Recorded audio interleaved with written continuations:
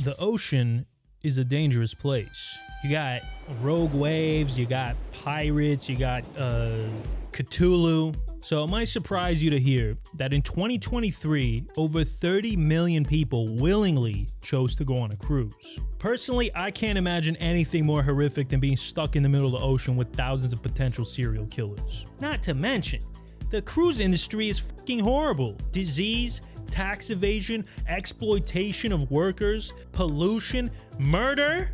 The list goes on. But we're not talking about any of that stuff today. We're talking about one specific incident that will make you reconsider ever getting on a cruise ship again. An incident that's come to be known as The poop cruise? The Poop Cruise. Poop cruise. Poop cruise. Poop cruise. 4,200 passengers on board. Ended up stranded at sea, spending six days crapping into a plastic bag. There's no lights, no water.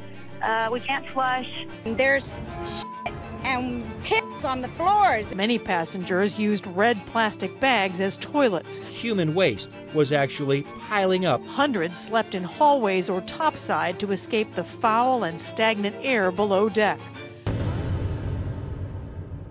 It's February 7th, 2013. You're on the Carnival Triumph, one of the finest damn cruise vessels to sail the seven seas, with its state of the art restaurants, world class entertainment, and who could forget, flushing toilets. You're in for the time of your life. After two days of smooth sailing, you arrive to the beautiful city of Cozumel, Mexico, where you spend the day shopping, sipping pina coladas on the beach, and trying not to think about the crippling third world poverty right outside the resort. Around 6 p.m., you get back to the boat. You hit the buffet and stuff your fat face so much that you can barely breathe. Then, you decide to check out the cruise comedian. Huevos rancheros. Pico de gallo. Uh, all right, that was a bad idea. But the night is still young, so you head over to the Lido deck where the DJ plays Gangnam Style on repeat 27 times in a row. But you don't mind. God, what a great song. After having more than a few cocktails, you hit the buffet one last time before stumbling back to your room and finally getting in bed. Time for some well deserved rest before hitting the breakfast buffet in the morning. But just as you finally drift off, your sleep is interrupted by the sound of Alpha Team alpha team is code for fire. This sound was blasting throughout the entire ship at 5:27 a.m.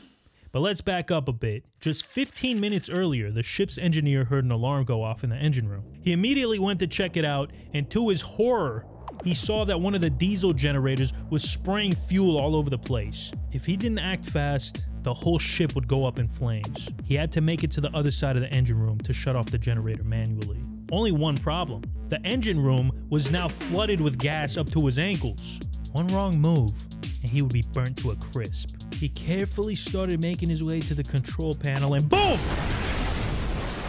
The diesel ignited, and the engineer was incinerated. I'm kidding, he was fine. The fuel did ignite, but he was able to make it out on time. But now there was the small issue of a massive fire in the engine room. That's when the Alpha Team message went out to the rest of the ship. Smoke was starting to fill up the lower decks, and thick clouds were spewing out of the ship's tail on the top deck. People were unsurprisingly freaking the fuck out. Many of them put on their life jackets and gathered near the lifeboats. Having a widespread panic on a ship is never a good thing, so the captain told everyone to stay calm and that everything was under control. We are really sorry about the wake up call so early, but everything is under control. No one could understand what the hell he was saying because of his Italian accent, which also reminded them of the Costa Concordia accident from last year. Now everyone was freaking out even more. But then the cruise director, Jen, assured everyone that the situation was being handled and everything was going to be okay. Everything is completely under control. So please, folks, there's no point waiting in the muster station to go back to your cabin, go back to bed, go and have some coffee, have some breakfast. This calmed people down, but things were pretty fucking far from okay. The fire was still raging in the engine room, so the captain gave the order to activate the CO2 cooling system, which quickly put out the fire. There we go. Captain Luigi saved the day, but just as he was getting ready to head back to his cabin for a celebratory plate of gaba gabagool, one of the engineers came back with terrible news. The fire had completely destroyed the engine. The boat was now stuck in the middle of the ocean with no power. Man, only this could have been avoided somehow. Oh, wait, it could have? Well, we'll get to that later. 4,229 people were now lost at sea with no air conditioning, no hot food, no TV, and worst of all, no toilets. This was not good. Cruise ships are some of the most filthy, vile places on the entire planet, and that's when the toilets are working. So you can only imagine how bad this is gonna get.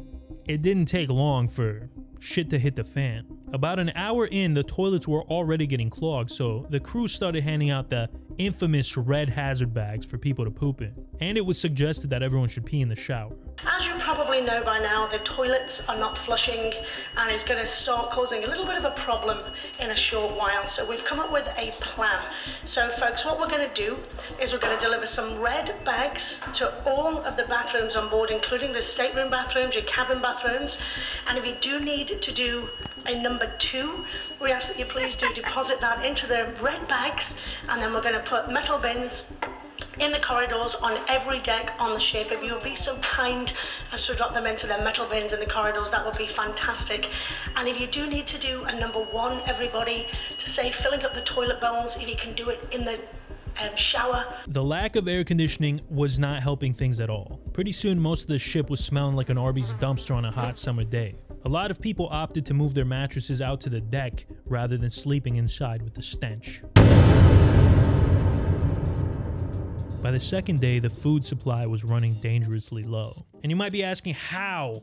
There's so much food on these ships, how could they have run out in a day? Well, you gotta remember, 90% of this food is frozen slop, so without working freezers, it was just sitting there decomposing, which only added to the already horrendous smell. And if that wasn't bad enough, some people were actually hoarding food. They were hiding hamburgers and cereal in their rooms like animals. Luckily, another cruise ship, the Carnival Legend, came to the rescue and dropped off some much needed food and supplies. Good thing too, because pretty sure these people were about six hours away from eating each other. Now, this was no gourmet food by any means.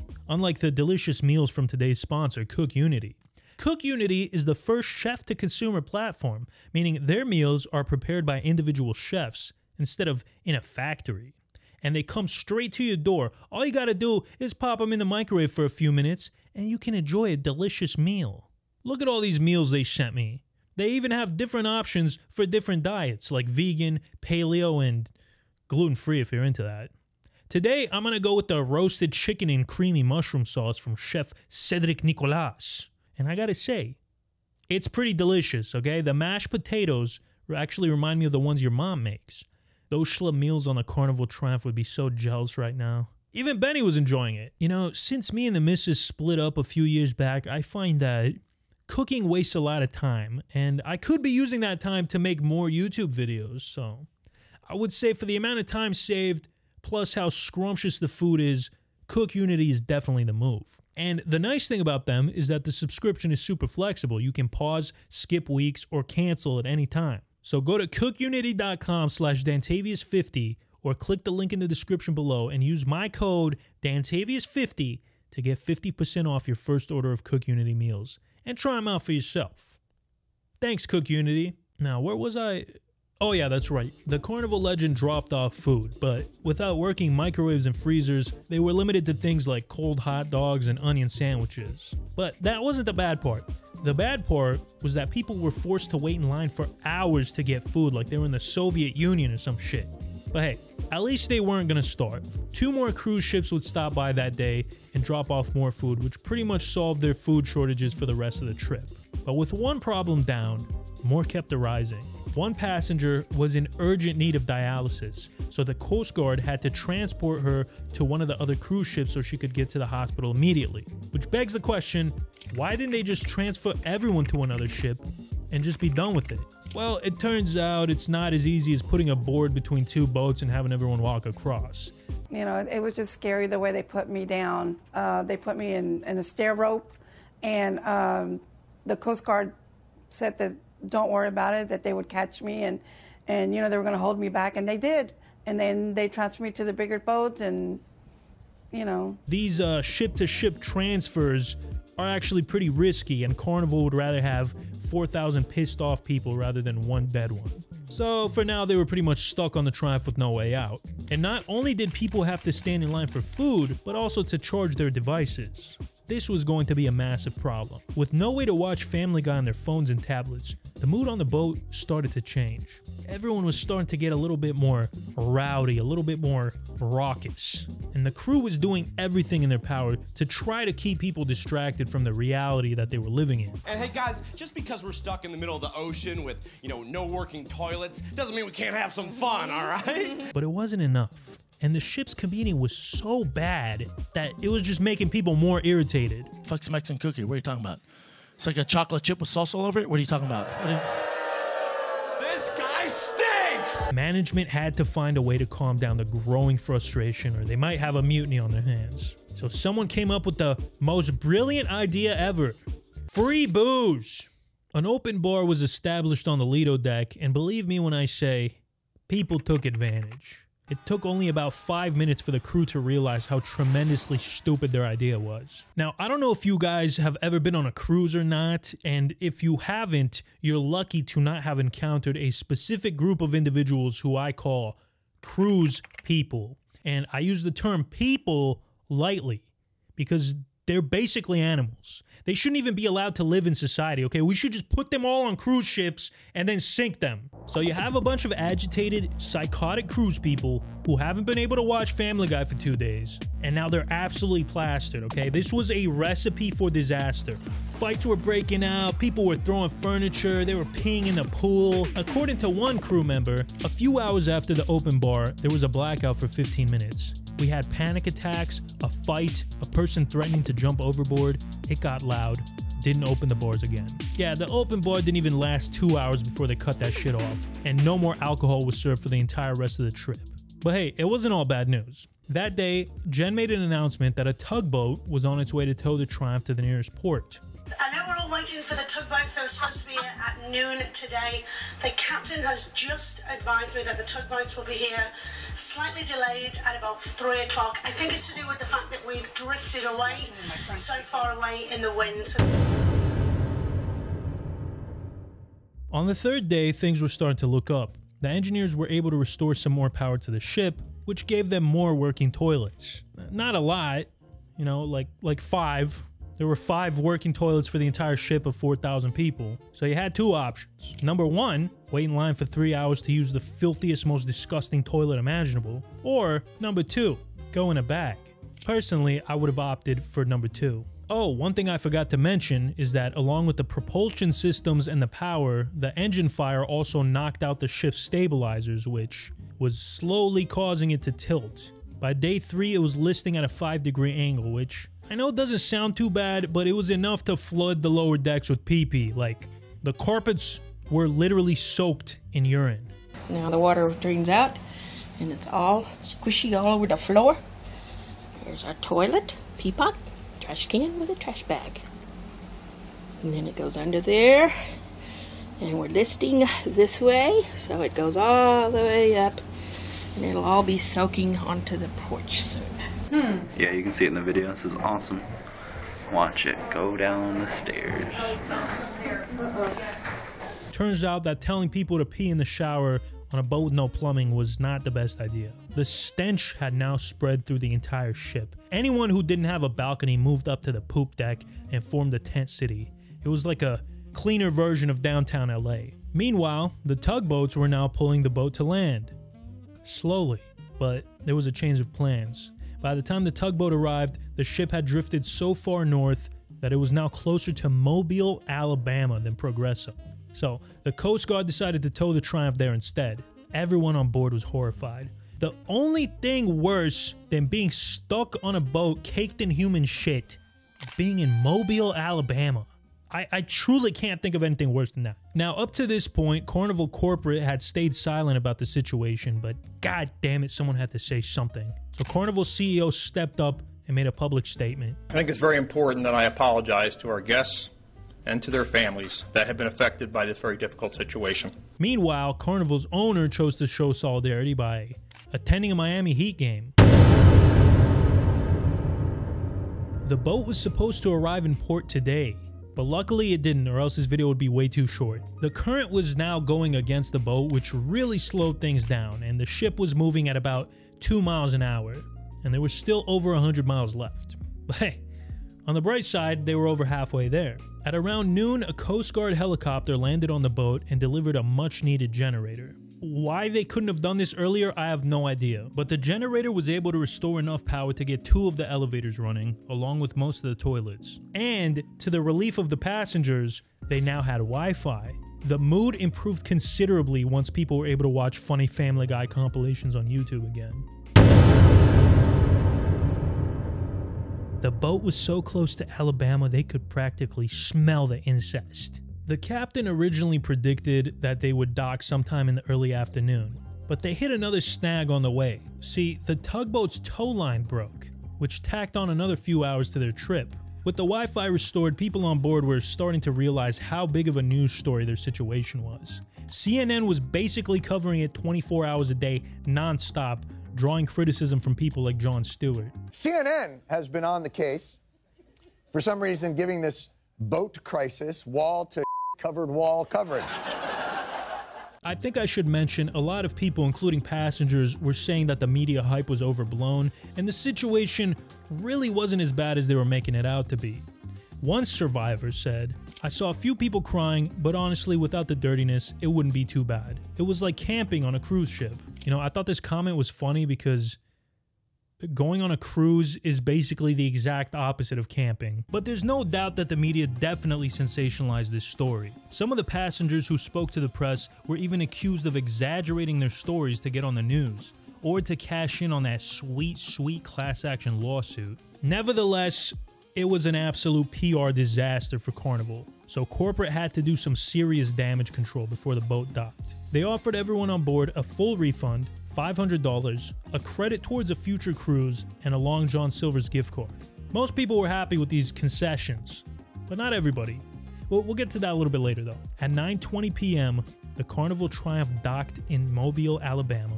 It was finally over. Carnival CEO was the first on the scene and personally apologized to the passengers and crew. And I want to apologize again for subjecting our guests to that. But he wasn't alone, obviously. There were dozens of news crews chomping at the bit to get the juicy scoop on the poop cruise. Some passengers were eager to be on TV. Most just wanted to get the fuck out of there and go to sleep. And you would think that Carnival would book them hotels right there in Mobile, but no. They inexplicably put everyone on buses to go to New Orleans, which was three hours away. Oh, and get this on the way there, one of the buses broke down, leaving everyone on board stranded again. Out of habit, they immediately started shitting in bags. It was a disgusting scene. Eventually, everyone made it to the hotel in one piece, but that wasn't the end of the drama with the Carnival Triumph. While it was docked in Mobile's port for repairs, strong winds caused it to break free and drift across the shipyard. It eventually crashed into another ship, causing one dock worker to lose his life in the process. Now, it should come as no surprise that a lot of people tried to sue Carnival for this fiasco, but uh, they had no case whatsoever because apparently mother suckers didn't read the fine print. Before you step foot on that cruise ship, you basically have to sign your life away. Whatever happens on that boat stays on the boat. You can't do shit about it. These passengers have no right to sue because Carnival's attorneys say when you buy your ticket, the ticket contract makes absolutely no guarantee for safe passage, a seaworthy vessel, adequate and wholesome food, and sanitary and safe living conditions. Carnival, because of that, is trying to get the suit tossed. So when it was all said and done, none of the lawsuits went anywhere. They were shit out of luck. Carnival said that the entire thing was an unavoidable accident. Was it though? Because according to Carnival's own documents, diesel generator number six, the very same generator that caused all these issues, was overdue for inspection for over a year. And it gets worse, two of the generators weren't even working at all. If those two generators had been functioning, this whole situation could have been avoided. Not to mention, this wasn't the first time Carnival had problems with broken fuel lines causing engine fires. Just one year before the Triumph, Carnival's Costa Allegra had a similar problem where a broken fuel line caused a fire and left 1,000 people stranded for three days. And in 2010, it happened again on the Carnival Splendor. In fact, this was the ninth incident in two years. One of Carnival's executives went on CNN and claimed that they were totally in compliance with the rules and regulations of the sea. But Here's a dirty secret about the cruise industry their regulations ain't worth shit. Carnival and every other American cruise company aren't even technically based in America. The cruise ships themselves are flagged in places like the Bahamas to avoid taxes. So they're not really held to the same level of scrutiny as something like the FAA. Remember, the ship took off knowing that two generators didn't work. That's like a plane taking off with only one engine. Would that ever be allowed? I sure hope not. And you would think that this whole debacle would be a massive hit to Carnival, but the following year they had their most successful year ever, which just proves the saying all publicity is good publicity. The Carnival Triumph continues to sail to this very day under its new name, the Carnival Sunrise.